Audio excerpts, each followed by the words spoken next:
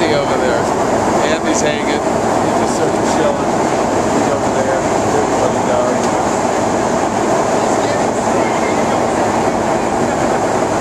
There we got Mark over here eating Oreos.